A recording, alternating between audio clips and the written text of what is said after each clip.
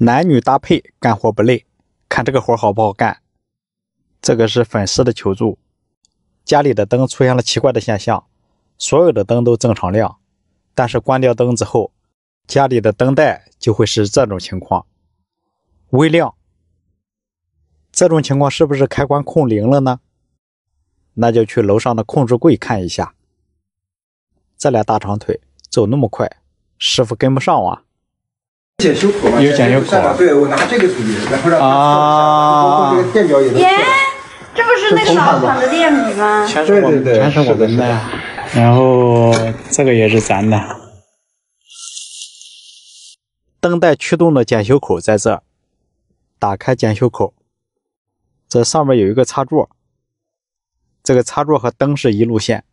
他们说他们测的零线带电，地线带电，啊，带电十多伏，是怀疑是这个原因造成的。不一定是零线带，零线不一定带。看这个电是我是是感应电，这十几伏是感应电，是我身上的电，是这一块有磁场啊，磁场的电。这里面是个封闭的环境，但是想怎么解决这晚上这个灯带亮？灯带始终亮。这这个零线带电就不用管，这个零线带电你不用管，嗯。那天他的来试了，他说是缺地线，他把这个线就接在那个呃龙骨上的龙铁丝上，接完以后灯带更亮了。那是不是接着啊？啊，他接完以后发现那个，就刚才咱们查吧那个灯带更亮，这就很奇怪，他这个零线带电什么原因？它不是零线，呃，它不是零线带电。像这种情况，零线不带电，地线也不电不带电，这也不带电。它是这一块有感应电，对我身体放电，对我的手放电，我的手和它之间形成一个电压，磁场，电磁场。听不懂。从插座接触这几个驱动是灯带的，是可以自控的，可以手机控制的。他们也怀疑是控制器不好导致的灯微亮，换了新的控制器，灯还是微亮。关键是它不是一个灯带微亮，所有的灯带都微亮。那您说是什么问题呢？另外可以看出来，它这个驱动上是有地线的，测量地线是带电压的，这应该是个感应电。那这个灯带的微亮和地线不接有关系吗？他们说刚才看那个灯带，如果接上地线，它就会更亮。但是这个地线到底能不能接呢？我想接一下试试。还有就是这些地线你不接，它上面带电是正常的，它正常会有一个电压，这个电叫感应电，应该是对地放掉的。但是他们说这个驱动如果把地线接地以后，那个灯带不但微亮，而且会更亮。那就把驱动做一个接地试试，就是把这几个驱动都给它接上地线。但是这个灯带奇怪的现象又来了，关灯关不了，就是关掉所有的灯，其他的所有灯都不亮，就这一个灯带还在亮，就它亮，还关不了，还控制不了。所以说不接地线它微亮，接上地线它常亮。另外我还发现一个奇怪的现象，就是这个地线它没有电压。而其他的地线，你看，在地线不接地的情况下，能测出一百伏左右的电压。就这种情况，您说是谁正常，谁不正常呢？还有这个地线一接地，下面那个灯带就亮，这种情况是什么原因造成的呢？接着查原因，下面就测电压，看一下地线不接地的情况下与零线之间的电压，它是有电压的几十伏。再看这一个。这个接地和零线之间表针没动，与火线之间呢，二百伏多一点，不到二百二。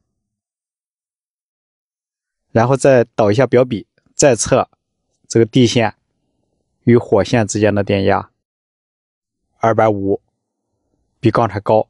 为什么说两个表笔倒一下，它测出的电压都不一样呢？再看一下，倒一下表笔，这个电压就低。二百伏多一点，这是有原因的。所以说这一个，呃，是我判断这个问题的重要依据。看二百五，嗨，夏天老师看见二百五了吗？啊，往哪看呢？让你看二百五。下面看我继续找原因。灯带有问题吗？拆了以后看一下，它应该是没着没接着线。这三根线是接灯带的，我给它剪断，先剪断一根然后用电笔测量地线，还是有个十四伏的电，这不正常。再剪一根剪这个绿色的线，然后再测。好了，出来了，有了。它这根线有电压才是正常的，没电压是不正常的。把最后一根也剪了，三根全剪了。这个时候再测看电压，一百多伏。那它这个电压比别的驱动高啊？看一下别的驱动电压，才九十多伏。那我把旁边这个驱动的输出线也剪断，三根线全剪，剪断负载以后再测，看一下，也一百多伏。它们俩差不多。哎，这是呃，我认为这是正常的。所以我认为它这个负载是有问题的，灯带是有问题的，是不是接地了呢？望远表对地测，往打档了，打城市开档，三根线，看表针一百到头啊。这个绿线是接地的，是漏电的，打到成一档车通段与地是通的啊。这个绿线是接地的，是短路的，与地是连在一起的。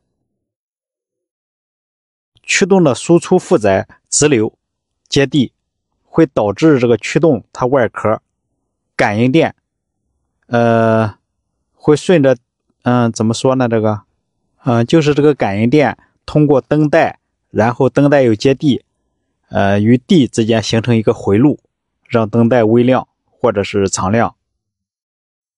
再看一下这个灯带，我拆开这个灯带，它与地之间是没问题的，看。不漏电，它就是不应该漏电。这样，嗯，这样正常接完地以后，它外壳是不带电的。这个这个已经接地了，不敢接了，接了那个灯都关不了，关不了，行了回路了。那个您先可以不接，不接，我把这两个给你做接地了。你让通知家过来。嗯，他要不做接地的话，外壳都带电。所以人家换驱动是没用的，对，跟驱动没关系。再换驱动也是没用的。我把漏电这个灯带做了一个标记，然后他们做灯带的师傅会过来检修。这个灯带可以把壳拆下来看一眼，看它是微亮的状态。接地的地方很可能是某一个焊点和铝合金外壳连在了一起。嗯，这个我就不拆了，我怕拆了再装不上。就是焊点接地了，嗯，让他们来弄吧。对，这这个这这个不是什么问题了，知道了。对对，知道原因就好了。OK。因为先是他始终想不明白为什么会。啊，他们做起来更专业，就是这个。咱们弄完以后，这他找这个原因，他就嗯。视频为证，你们俩都干活了。是啊，你看，要不是我给你扶着，你能装成吗？啊，不扶着跑掉了。行行行行，没有你，我们都干不了这个活。